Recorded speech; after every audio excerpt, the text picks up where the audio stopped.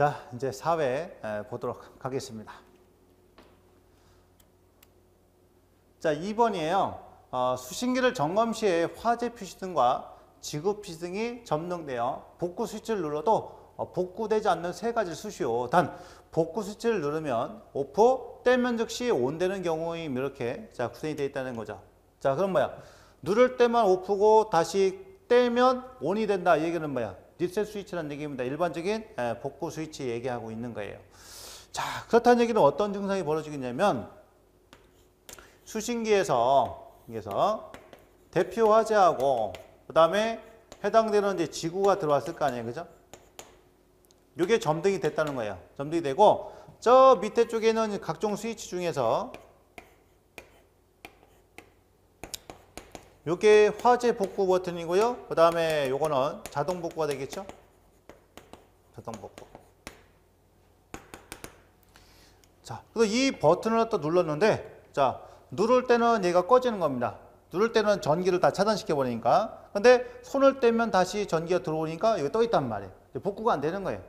그러면 복구시킨다는 얘기는 뭐냐면 화재 신호가 또 일시적으로 전기를 끊어가지고 자 끊어서 어, 들어오지 못하게끔 막아주는 역할을 하는 거예요. 그러니까 전기를 일시적으로 끊어줌으로써 예, 복구를 시키는 건데 자 얘를 눌렀다 떼더라도 계속 신호가 들어오니까 복구가 안 된다는 얘기예요. 그 원인이 뭐냐? 첫 번째 의심하는 게 가장 많은 것이 뭐냐면 여기에 뭐가 들었으면 화재 표시하고 지구 표시하고 여기에 이제 있는 거 발신기 있죠? 음. 이 발신기 표시 등이 들어와 있으면 자 들어와 있으면 자 뭐냐면 내가 복구를 쳐도요 발신기는 계속 화재 신호를 주기 때문에 복구가 안 되는 거예요. 이게 첫 번째 이유가 여기 있는 거죠. 자 두 번째는요 두 번째 감지기 자체가 불량인 경우가 있어요. 자 뭐냐면 감지기가 감지해서 화재 표시를 띄웠잖아. 자 그럼 여기서 복구를 치면 전기를 차단시켜 가지고 얘가 복구가 돼야 되는데 계속 붙어 있는 거예요. 그러니까 감지기가 불량일 때도 이런 현상이 벌어집니다. 자, 세 번째는요. 해당되는 이 감지기 선로가 쇼트가 나면 이런 현상이 벌어져요. 그러니까 뭐냐면 감지기 문제가 아니라 선로 문제를 풀 수 있다. 그리고 자, 그다음에 또 하나 볼 수 있는 거는 수신기 내부에 릴레이가 자, 불량이거나 고장이 나면요. 릴레이가 제대로 이렇게 신호 갖다 주지 않으면 릴레이 접점이 계속 붙어 있다 보니까 여기서 화재 신호를 계속 주고 있는 거예요. 복구 버튼이 안 먹는 거죠. 쉬운 얘기로.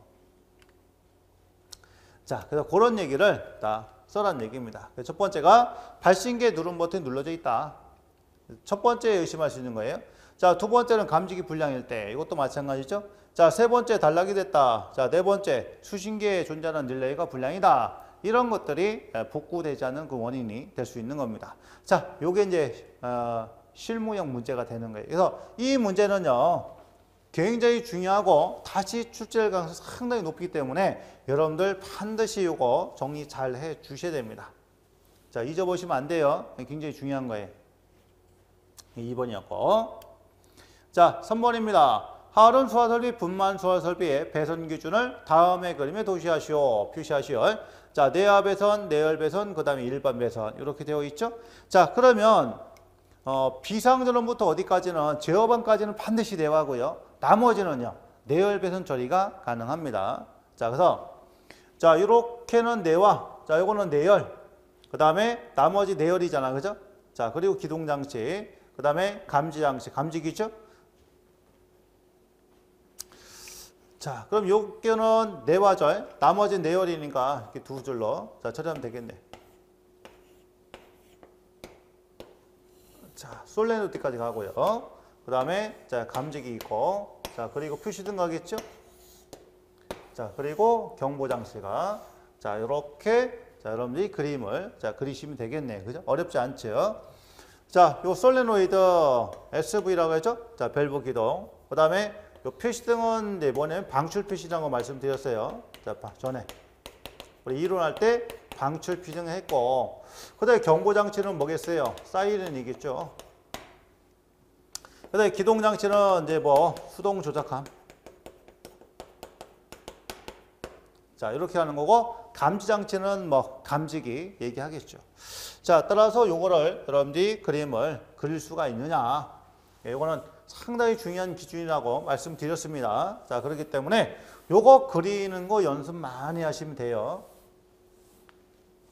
그 내용이 좀 생소하거나 이러신 분들은 앞쪽에 자 뭐가 있으니까 자이 이론에 다뤘던 내용이 있기 때문에 그걸 다시 한번 보고 자 그 다음에 요 문제를 자 푸실 것을 이렇게 권장을 좀 드립니다. 그러니까 이렇게 이제 그림을 아, 여러분들이 작성하시면 된다는 거예요 답안지에다가